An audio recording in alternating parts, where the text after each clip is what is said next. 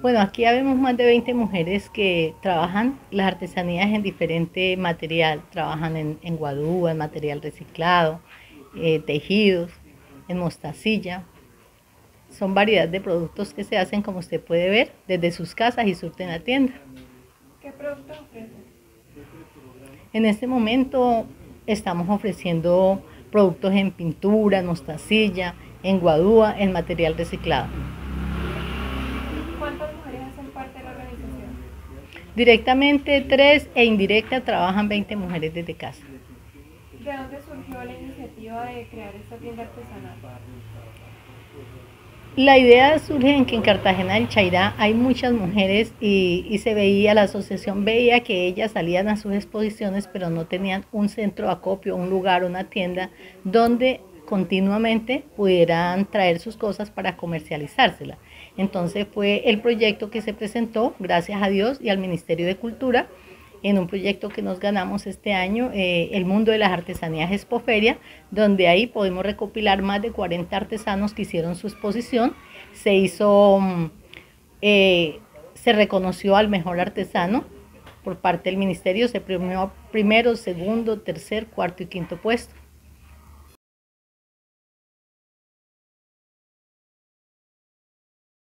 Eh, yo aquí en de la tienda estoy eh, trabajando, administrando la tienda porque las artesanas vienen aquí a la tienda Ocaima y dejan las, los productos, entonces aquí nosotros se las comercializamos.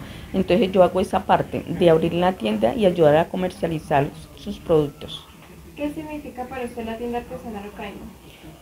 Es una organización de mujeres que estamos liderando aquí en Cartagena del Chairá eh, en una tienda comunitaria. Y por último, la invitación a las personas que les compren los productos que sacan.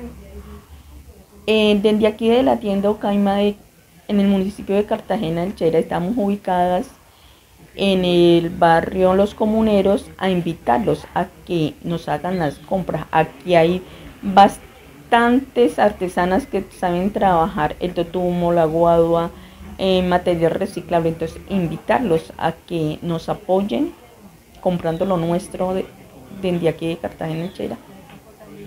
¿Cómo ha sido que crear esta organización, esta tienda artesanal? por parte de mujeres de acá de parte del municipio de Cartagena Chira. Nosotros le damos gracias a Dios al Ministerio de Cultura y a la señora Dani Ramírez porque con ella y el pulso de nosotras mismas hemos sacado adelante nuestra tienda. ¿Por qué? Porque gracias a nosotras que nos unimos las mujeres, hemos venido trabajando eh, poco a poco y gracias a Dios aquí están los frutos plasmados en esta tienda.